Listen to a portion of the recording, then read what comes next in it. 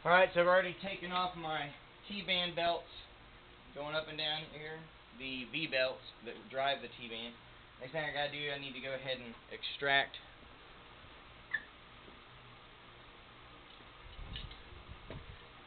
my pin deflector boards because I gotta get the roller out right here on the bottom. So I'm gonna go ahead and take off. I need, if you worked on these things before, uh, you need to take off.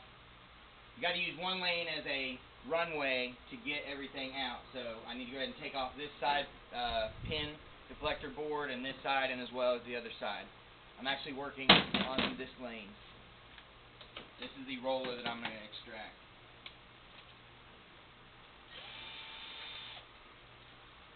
Using a 13 millimeter socket.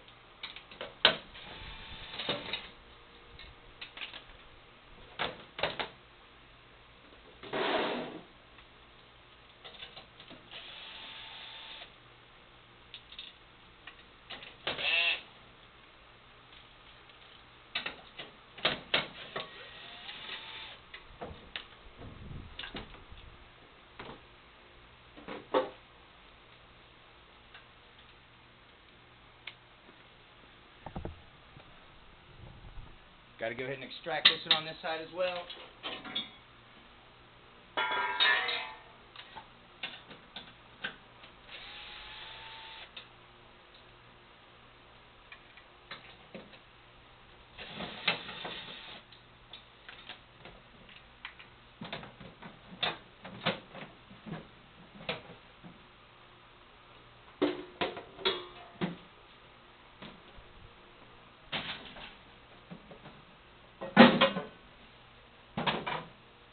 Alright, now I need to get 17 millimeter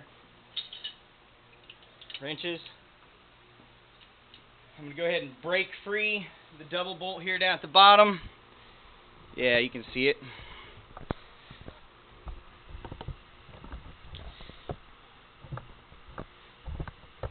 A double bolt right there on that uh, transport band. I need to break that free. I'm going to do that on both sides.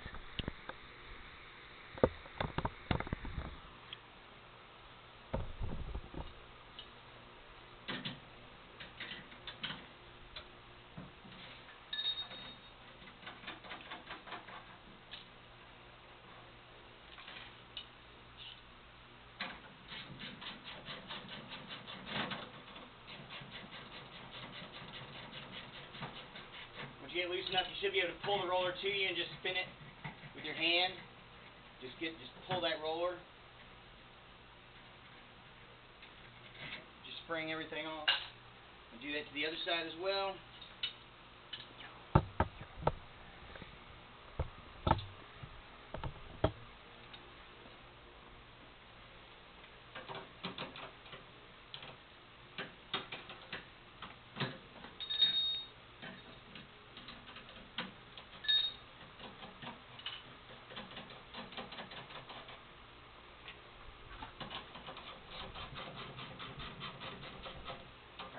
Camera's way.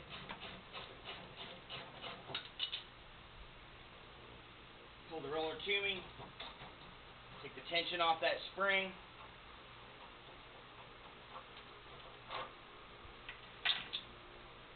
I'm going to lift this pulley wheel straight up in the air so that the all thread rod comes out and then I'm going to flip it up all the way forward. Well, just up so I can grab it. I'm going to do the same to the other side.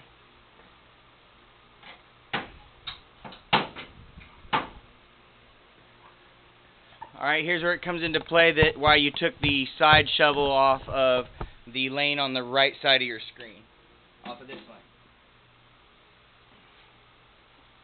I'm going to be lifting up on the bottom of the roller under the transport band as I try and pull the whole thing, the whole system through. I did flip the all thread on the other side forward.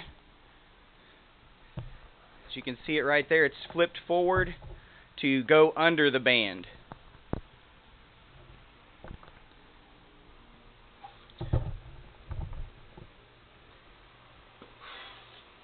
Not easy doing it with one person, but it is able to be done.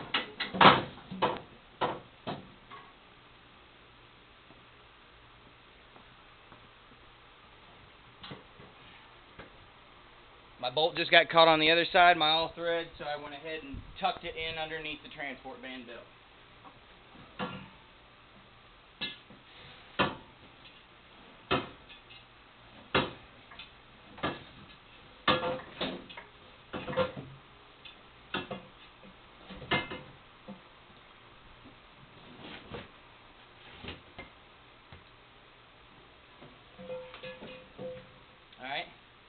Our rear roller. I'm going to go ahead and pull it out and set it to the side. I'm going to bring it around on the inside, show you how I take out the front one, how I personally take it out. Everybody can do it whatever way they want to do it. I'm kind of lazy though. Either lazy or time saving, I'm not sure. That is on the way that I try to remove the front roller.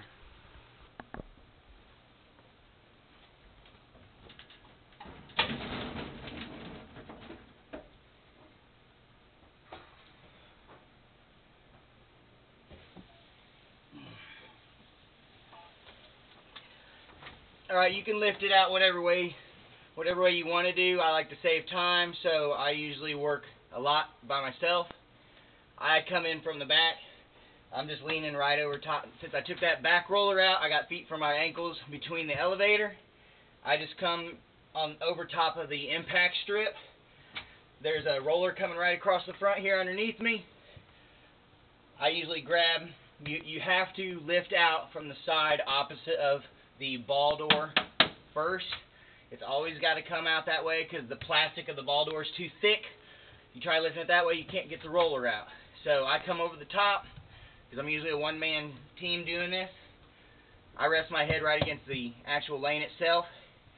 Put my, grip my fingers in the roller on the side opposite the ball door, lift up and out, and I push it out the same side that I lifted out first. That's what's coming out first. All right.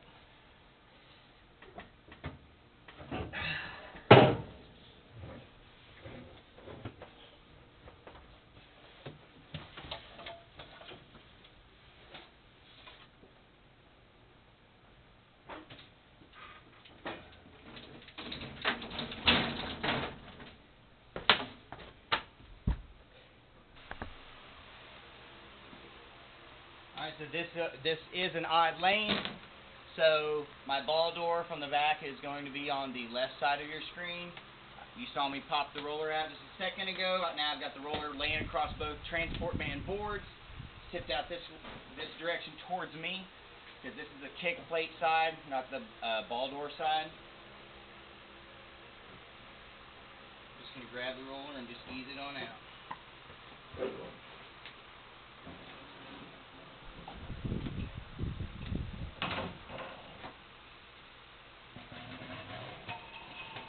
and that's how to extract the transport band rollers.